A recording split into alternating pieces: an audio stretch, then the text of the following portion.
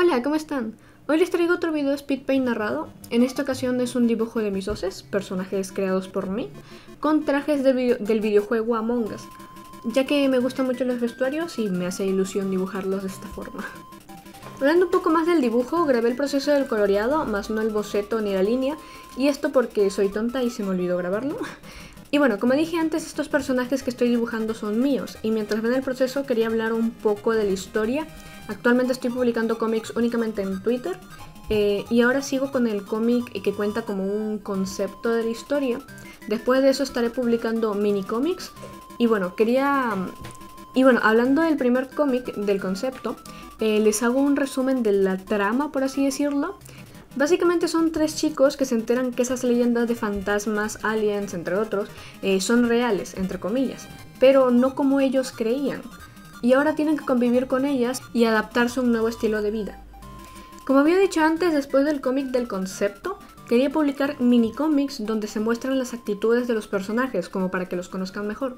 Por ejemplo, al momento de enterarse de que estas escrituras existen, los tres personajes tienen tres reacciones diferentes. Eh, por ejemplo, Lorelai ha crecido con ellos, tiene normalizada su existencia, por así decirlo, ya que Cora, que es el padre de Lorelai, que es un personaje adicional que lo he presentado en Twitter, eh, la crió de manera que lo normalice y con los cuidados que debe tener. Ethan no confía en ellas, le asustan y cree que esto es una locura, lo cual es la reacción más realista, diría yo, que es la reacción normal que tendría cualquier persona, eh, muy diferente a la reacción de Florian ya que quiere intentar comprender eh, lo que está pasando, ya que Lorelai está involucrada en esto y conoce del tema. Él confía en ella y si ella dice que pueden ser inofensivos, eh, no es tan loco como y no es tan loco como suena, Florian confía en ella y quiere intentar conocer todo lo que ella y a la vez así no carga con todo el peso ella sola. Todo esto porque dije que en el anterior eh, video, como dije en el anterior video, Lorelai y Florian son amigos muy cercanos, casi como hermanos diría yo, y la razón por la que las reacciones de Florian e Ethan son tan diferentes es esta misma. Como dije, Florian es muy cercano a Lorelai, sin embargo, Ethan no. Al principio de esta historia, eh, no es amigo ni de Lorelai ni de Florian, los considera como conocidos.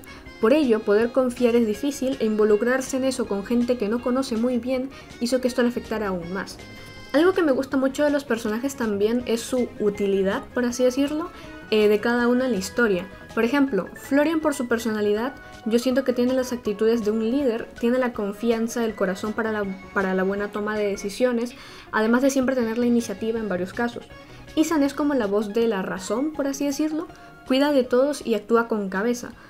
En el caso de Lorelai, ella ya que, como, ha, como dije antes, ha convivido con estas criaturas toda su vida, de hecho hasta la han criado, ella posee más información acerca de las criaturas, lo cual les beneficia un montón en este caso.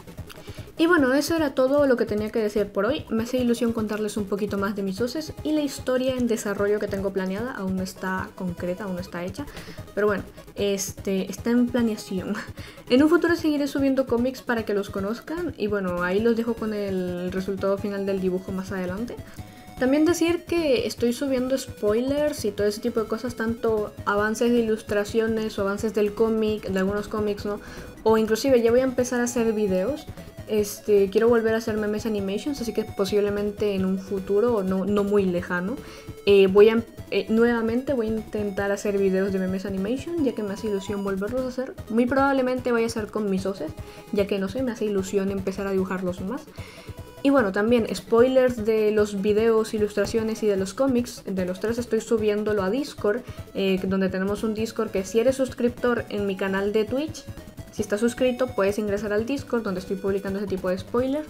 Es como un beneficio más para los suscriptores, es como un tipo de Patreon, solamente que es con Twitch. Así que bueno, eh, sin más que decir, espero les haya gustado la ilustración y el video. Ahorita los voy a dejar con el resultado final.